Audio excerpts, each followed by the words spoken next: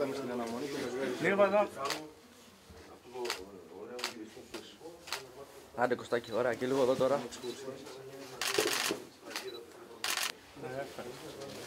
Βαρύ είναι.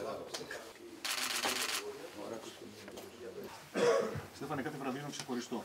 Αυτό τι σημαίνει για σένα; Σίγουρα είναι το πρώτο, αν δεν κάνω λάθος, είναι το πρώτο βραβείο για τη φετινή χρονιά.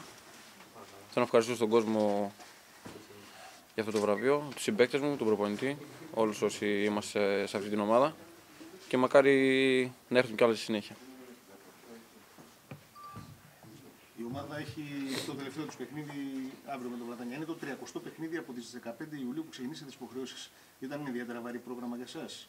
Και τι απολογισμό μπορείς να κάνεις για τα μέχρι τώρα αποτελέσματα; Εντάξει, εμείς ε, τα παιδιά που είμαστε εδώ χρόνια έχουμε συνηθίσει αυτό το, αυτό το πρόγραμμα, αυτά τα συνεχόμενα παιχνίδια. Μερικά παιδιά που έχουν έρθει στην ομάδα ίσως δεν έχουν ε, ξαναγωνιστεί τόσα πολλά παιχνίδια σε ένα πρώτο εξάμεινο και ίσως ε, γι' αυτό και η ομάδα έχει αυτούς τους τραυματισμούς. Μακάρι ο καινούριος χρόνος να μας βρει πιο δυνατούς, να έχουμε υγεία όλα τα παιδιά και να στο τέλος της χρονιάς να πετύχουμε κάτι, κάτι καλό. Στέφανε, ε, όχι ιδιαίτερα παραγωγικό εξάμεινο για σένα. Έχεις συνηθίσει τον κόσμο σε άλλους αριθμούς. Καθοριστικός, ε, καθοριστικό γεγονός ο τραυματισμός σου σε εκείνο το, το φιλικό σου σχήμα της χρονιάς. Πώς το βιώνεις αυτό το, το εξάμεινο; Εντάξει, μου άφησε λίγο, η αλήθεια είναι ότι μου άφησε λίγο πίσω ο τραυματισμός. Δεν περιμέναμε να, να είναι τόσο σοβαρός. Αλλά κάθε μέρα στην προπόνηση προσπαθώ να το ξεπεράσω. Ακόμα το πόδι δεν έχει έρθει 100%.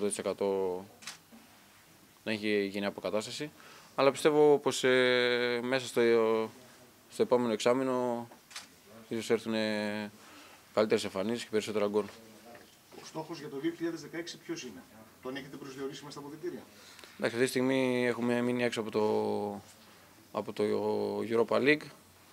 Το πρωτάθλημα στην έχει χαθεί. Για μένα στόχος είναι η δεύτερη θέση και να και κατάξει του, του κυπέλου. Ένα μήνυμα στο, στον κόσμο συνολικό.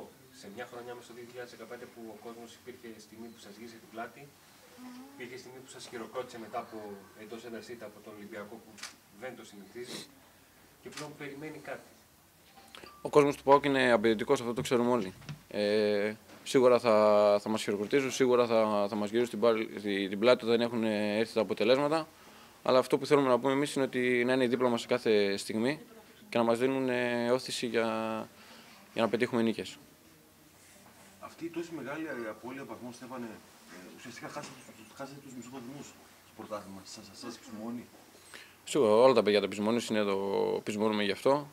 Γι' αυτό θέλουμε το 2016 να έχουμε λιγότερες, ε, να χάσουμε λιγότερους βαθμούς, μακάρι μην χάσουμε για καθόλου, αλλά προσπαθούμε κάθε μέρα στην προπόνηση και για να παρουσιαζόμαστε στους αγώνες ε, έτσι όπως πρέπει. Στο ρωτάω γιατί είναι ομάδες χαμηλότερης δυναμικότητας από εσάς. Πολύ χαμηλότερες. Θεωρητικά και πρακτικά ενδεχομένως, αλλά βλέπουμε ότι η ομάδα χάνει βαθμούς συνέχεια. Εντάξει, είμαστε μια νέα ομάδα που χτίζεται. Αυτό που θέλω να σας πω. Χρειάζεται υπομονή σω φανεί λίγο γραφικό αυτό το υπομονή, η λέξη υπομονή, αλλά η αλήθεια αυτή είναι. Όταν χτίζει μια ομάδα θα έρθουν και θα έχει και σκαμπανεβάσματα.